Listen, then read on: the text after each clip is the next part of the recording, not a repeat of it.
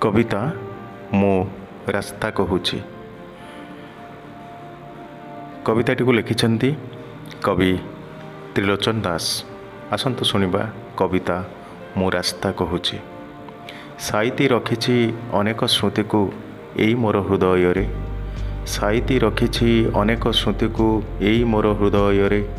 ମିଶାଣ ଫେଡ଼ାଣ ଗୁଣନ ହରଣ କଷିଛି ମୋ ବୁକୁ ଉପରେ। ମିଶାଣ ଫେଡ଼ାଣ ଗୁଣନ ହରଣ କଷିଛି ମୋ ବୁକୁ ଉପରେ। ଯୋଡ଼ିଛି ହୃଦୟ ଆନ ହୃଦୟରେ ମନରେ ମିଶାଇ ମନ।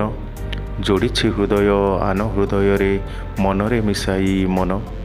ଦେଖିଅଛି ମୁଁ ଯେ କେତେ ବାଟୋଇର ସ୍ମୃତି ଭରା ପାଦ ଚିହ୍ନ। ଦେଖିଅଛି ମୁଁ ଯେ କେତେ ବାଟୋଇର ସ୍ମୃତି ଭରା ପାଦ ଚିହ୍ନ। ଜନମ ମରଣ ଦୁଇ ଗୋଟି ବିନ୍ଦୁ ଯୋଡ଼ିଛି ମୋ ଦେହରେ।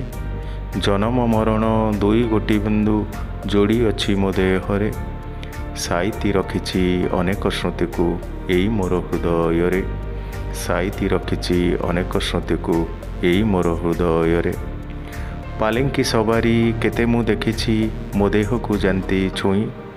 ପାଲିଙ୍କି ସବାରି କେତେ ମୁଁ ଦେଖିଛି ମୋ ଦେହକୁ ଯାନ୍ତି ଛୁଇଁ। ବନ୍ଧନକୁ କାଟି ଉଠିଛି କୋକେଇ ଲୁହର ଶ୍ରାବଣ ଦେଇ।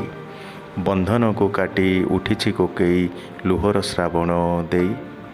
ତୃଷ୍ଣାର ତୃଷ୍ଣାକୁ କ୍ଷୁଧାର କ୍ଷୁଧାକୁ ପରଖିଛି ମୋ ଛାତିରେ ତୃଷ୍ଣାର ତୃଷ୍ଣାକୁ କ୍ଷୁଧାର କ୍ଷୁଧାକୁ ପରଖିଛି ମୋ ଛାତିରେ ସାଇତି ରଖିଛି ଅନେକ ସ୍ମୃତିକୁ ଏଇ ମୋର ହୃଦୟରେ। ସାଇତି ରଖିଛି ଅନେକ ସ୍ମୃତିକୁ ଏଇ ମୋର ହୃଦୟରେ। ସାଇତି ରଖିଛି ଅନେକ ସ୍ମୃତିକୁ ଏଇ ମୋର ହୃଦୟରେ। धन्यवाद।